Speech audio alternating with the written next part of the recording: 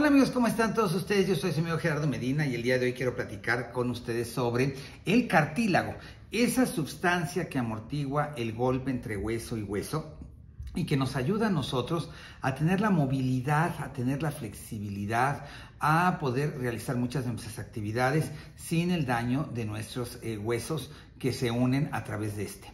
El cartílago es una sustancia que nuestro cuerpo produce de manera natural. Muchas personas dicen, ¿qué es el cartílago? Bueno, el cartílago es un colchoncito que hay entre hueso y hueso.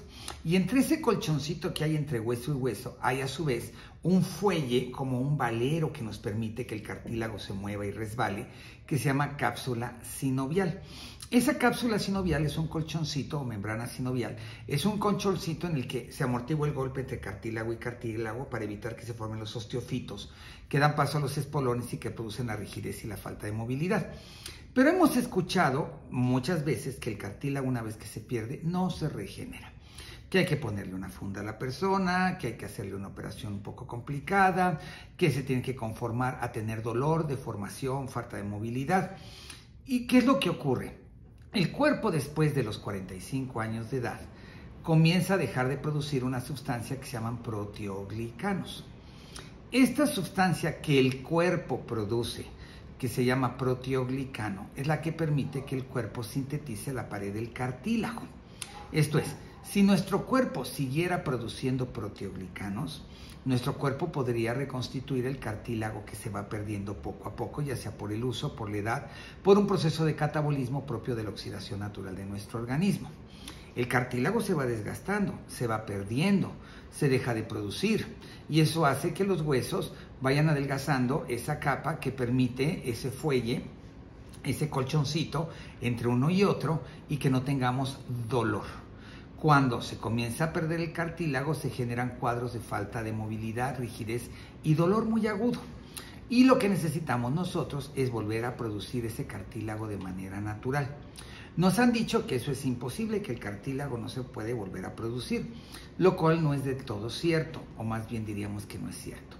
¿Por qué? Porque si el cuerpo vuelve a producir de manera natural esa sustancia que se llaman proteoglicanos, y los proteoglicanos permiten que el organismo sintetice nuevamente la pared del cartílago, se comienza a amortiguar el golpe y comenzamos a tener nuevamente esa em, lubricación, ese acolchonamiento entre hueso y hueso que nos permite realizar nuestras actividades de una mejor manera, lo mejor posible.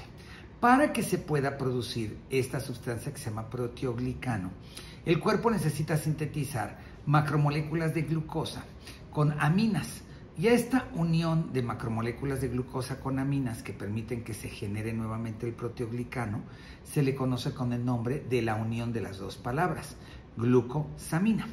La glucosamina es una sustancia que el cuerpo absorbe de manera natural y que le proporciona al organismo la facilidad de volver a generar el proteoglicano para que el proteoglicano que se sintetizó a través de esta macromolécula de glucosa y estamina vuelva a producir paredes de cartílago y no tengamos ese dolor, esa rigidez, esa falta de movilidad.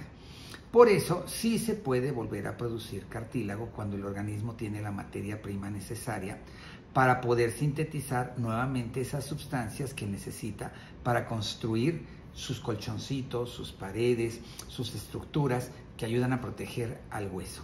Y por otro lado, hay otra sustancia que ayuda a reconstituir ese colchoncito que se llama cápsula o membrana sinovial, que es donde resbala el cartílago para poder realizar la función del movimiento articular.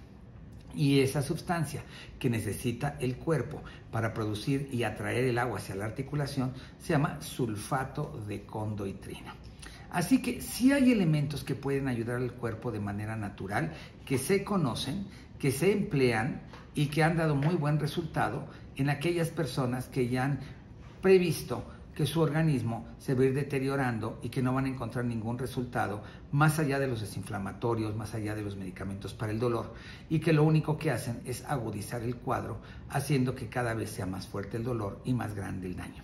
Por eso tenemos nosotros que saber que hay nutrientes, que hay suplementos y que hay elementos que ayudan a que el organismo vuelva a producir lo que perdió y recuperemos nuestra calidad de vida.